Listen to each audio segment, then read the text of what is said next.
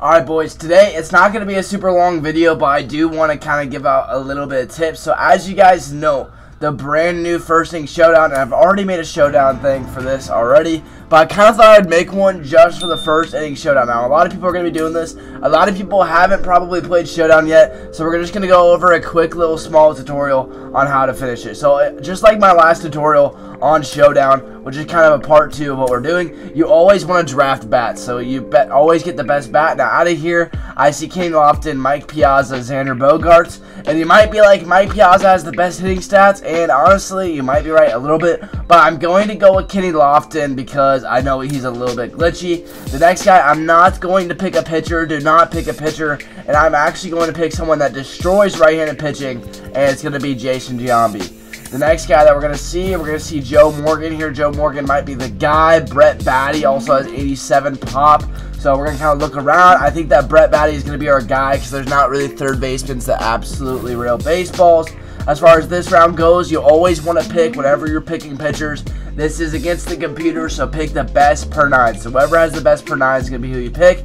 And right now, it's looking like it's going to be Jonathan Stiever. So he has the best per nines. I'm going to pick him because he's going to perform better because he has better stats. Now we're facing the fifth round. We're going to be, again, pitching some of these guys with the really good stats. Out of all of them, I don't really see anyone that kind of just sticks out. But the one guy that I kind of like is Avisail Garcia because he has that big contact and looks really good versus lefties. Right here, it's not really an easy pick either, and I think I'm going to go Kiki. I hope that you guys are getting better rounds than I am. We're going to kind of look at the catcher position. I, honestly, I don't like any of these, but we're going to go Kiki. We're going to go Kiki. He has a decent swing. Here, we're probably going to go Leclerc. Leclerc always has really nuts per nines, and he's going to be my closer. Next year, we're probably going to pick up Germinator just because I really like his swing, and all these guys are kind of bums.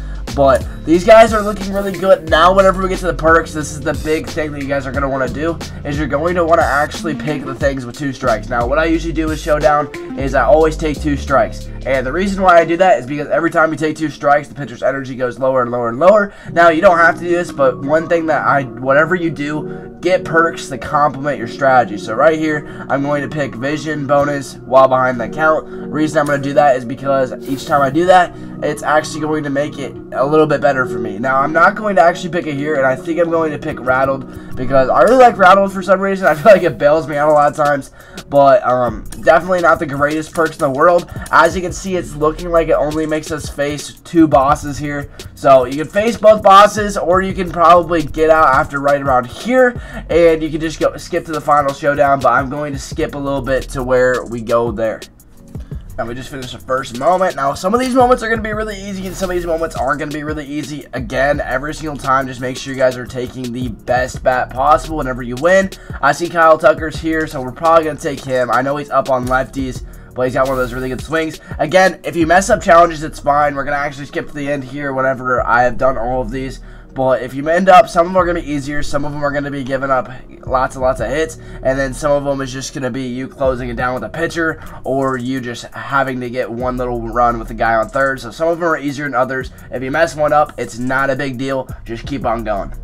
Alright boys, this will be the last one before the first showdown boss, and I'm going to kind of explain one of the things that you guys need to do before every single showdown boss.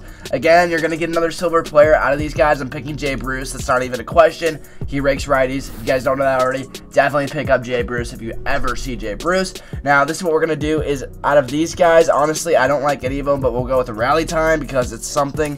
But this is what you're to do. You're to go to manage squad. Now, whenever you are playing a showdown, Every single time, whenever you're playing a showdown, what you do is you always put in your best hitters. Now, it doesn't matter. Defense means nothing during this. You're not going to be playing defense. You can have out of position guys. Now, I just ended up getting Jay Bruce. Jay Bruce is now my shortstop, and he's I'm going to obviously take him out of shortstop after the showdown. But during the showdown, make sure you do this, and whenever you're playing the showdown, it'll make a load of a difference. Avisail Garcia. And and that should do it. Yep, that's going to do the showdown. Avisail Garcia is going to be the stud of number one.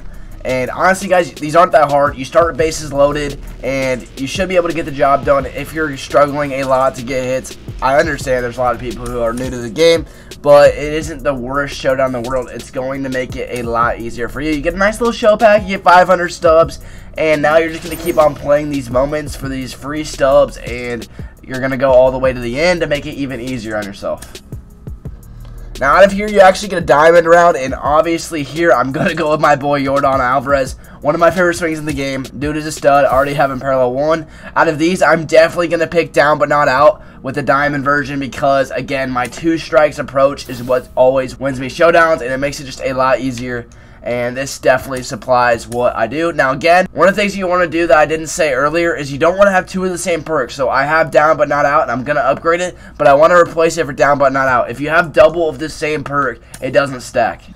Alright, he's going to walk another. One thing that I just highly stress is be patient during showdown. Don't pitch at bad pitches. Again, I got the bunt single with Kenny Lofton, and then he literally walked two. Now we have bases loaded with Yelly, and it's probably going to go really well considering this guy's not throwing many strikes. Oh, we'll take an error. And that should do it. That should do it. Kenny Lofton should be the last guy who finishes the showdown. And we got our XP. We got everything that we needed. It's double XP weekend. We got the showdown done.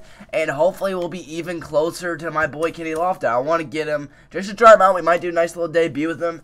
But boys, that wasn't too hard. And what I want to make sure is that you guys knew how to do it. I know it's simple. I know I already did a showdown guide. But I really just wanted you guys to see how I did it. So some of you guys who have never really done showdown or don't really know what to do with showdown, I hope that this really helped you out. Now boys, if you guys ended up liking this video, make sure you guys hit that like and sub button as we're on the road to 3,000 subscribers. Thank you guys so much and Maltbie out.